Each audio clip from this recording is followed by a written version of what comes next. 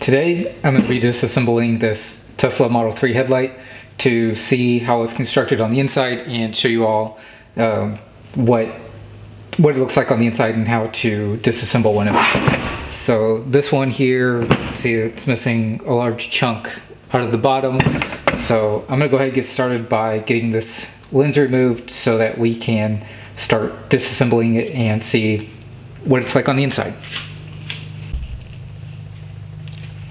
Okay, so got the lens removed here and here you can see the inside. Give you a quick walk around of the light in with the lens off. So here on the inside of the lens you can see the plastic bezels that are the that are screwed to the the lens via a whole bunch of little individual T20 Torx screws.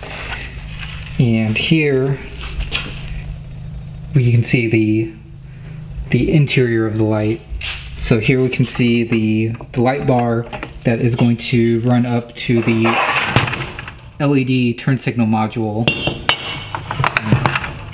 Fix this here. So we have that upper one, here's the main LED low and high beam. Here is um, another LED light bar and we can see that it looks like most of this is held together with with Torx T20 screws. So I'm gonna go ahead and start disassembling this interior here and we'll see how this is put together. So again, here I just got a Torx T20 screwdriver and I'm just gonna start removing screws.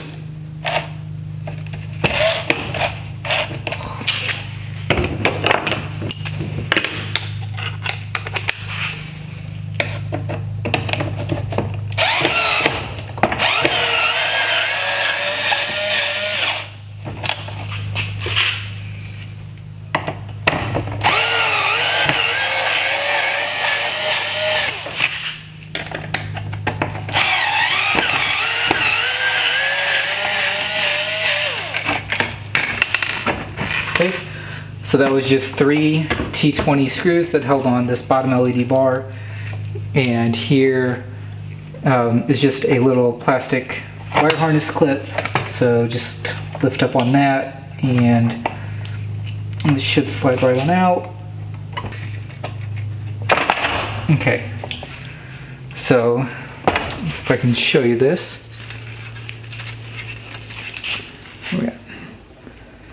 So there's a clip here that holds this clip in place, and then inside of this clip is another clip that holds that in place. So you have to lift up on this clip, push down on this clip to remove it. Okay, so now I'm gonna go ahead and try starting to remove this top light bar. So we just got a single black screw and I believe that we can remove these three T20 screws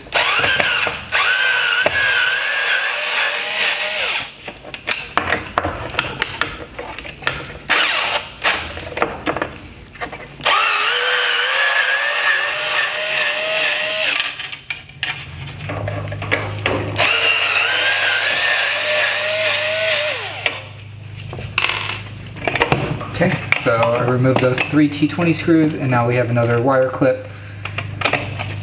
Just push in on the tab and that one will pop right off. So now we've got the main LED driving lights here. Let's see, looking around here, see one screw and that is the only screw that I currently see.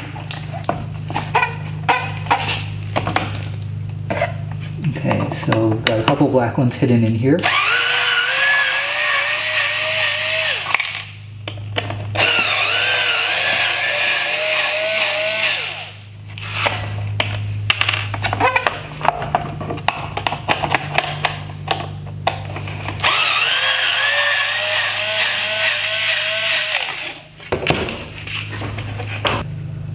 So I'm gonna see if we can't twist this cap off.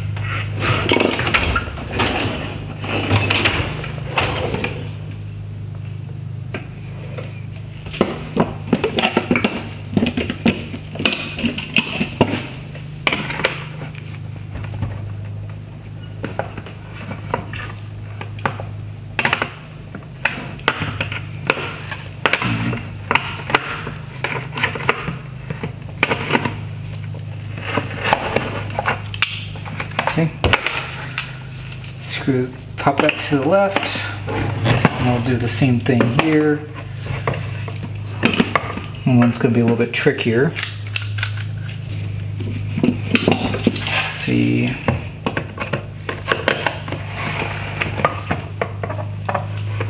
Okay. All right, that cap is off. So now we have access to couple of screws holding these back pegs on. I don't know if you're even gonna be able to see these. Let's see. There you go. So just inside of the hole here, you can see the the back of the mount that is holding the slide in place. Yeah, let's see, that's pretty loose, so I don't think that that's actually affecting it. Okay, let's see another T20 way back in here.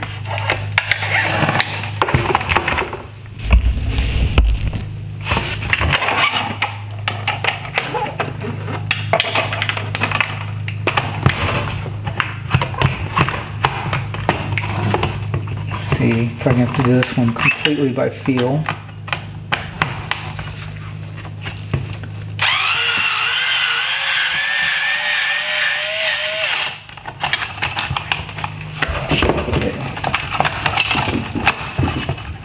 All right, so this one over here is holding in a fan. But we'll get to that in a minute. Okay, I'm gonna go ahead and try to remove this top LED.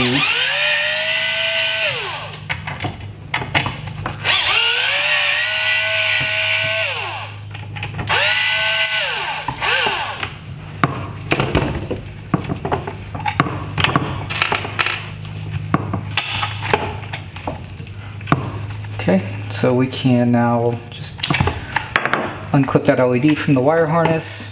And now you can see here the second mount that I'm trying to, to get access to.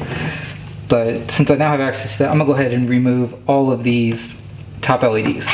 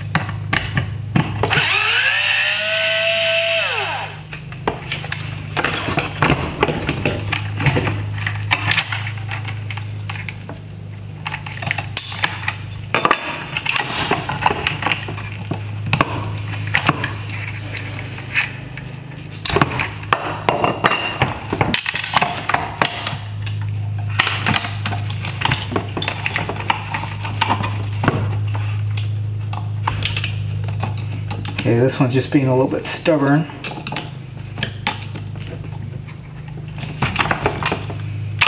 All right, cut that one off. All right.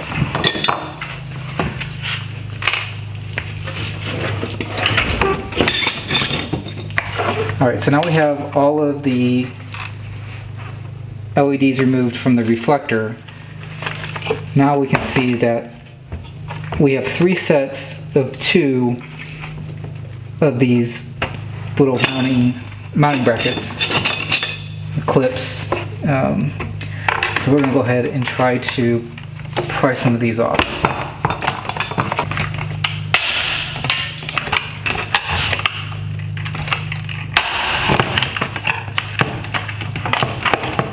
Alright, we got the, the middle set out at least.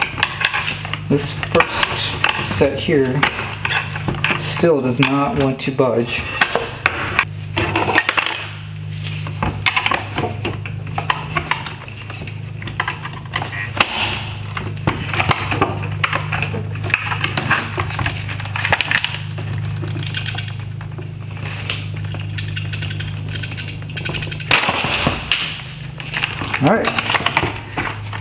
First set removed, second set removed. Now we're gonna go after that third pair of mounts.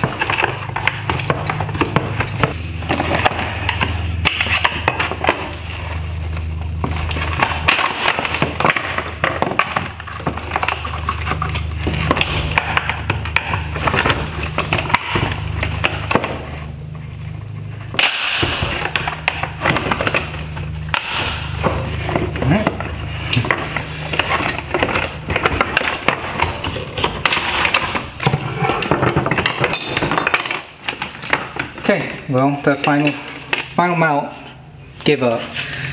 Um, you can see here, you can see here how this this mount here, this metal mount is part of the housing and there's these black plastic clips that just press straight onto this and it's really meant to be a one-way attachment.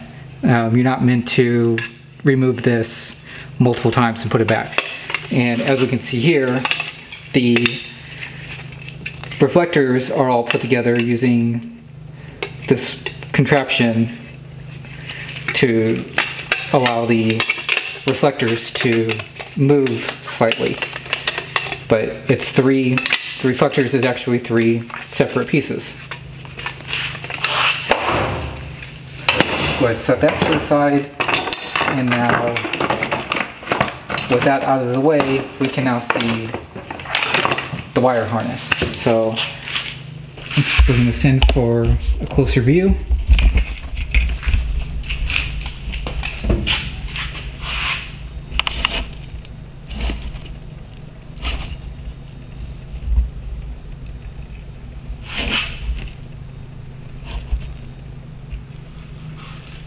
Okay. So here we can see the the motor, the AFS motor that allows the headlight to go up and down and here on the the outside edge was the fan that helps keep all this cool. And then as we can see the, the big wire harness that runs throughout the light, here's the connector to the to the ballast and control unit and as we can see that is all operated off of this single three pin connector so my best guess here is that you know one of these is you know positive 12 volts the other is minus 12 volts and then a third is used for two-way communication between the rest of the car and the ballast itself. So, give you one more view here. Here's here you can see all of the individual LEDs. There are five of them comprising uh, that make up this headlight. So anyway, I hope you find this useful or you at least enjoyed watching it. So thanks for watching.